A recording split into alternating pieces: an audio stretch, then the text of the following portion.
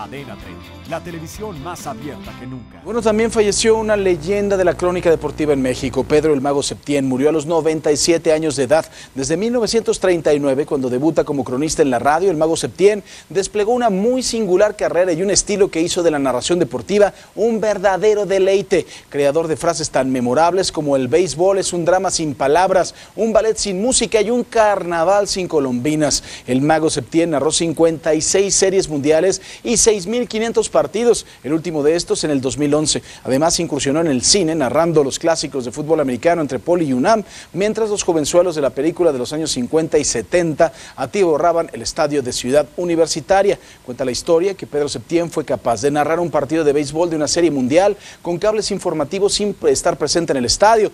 Y precisamente él estaba en un hotel que estaba muy cerca y él le daba eh, pues todo el dramatismo a partir de los gritos de la gente, de cómo se escuchaba los gritos en la gradería y finalmente por eso se ganó el mote del Mago Septién. Descanse en paz, eh, Pedro el Mago Septién. Suscríbete a nuestro canal de YouTube para que siempre estés informado de las últimas noticias de México y el mundo. Empieza ahora mismo dándole clic a estos videos.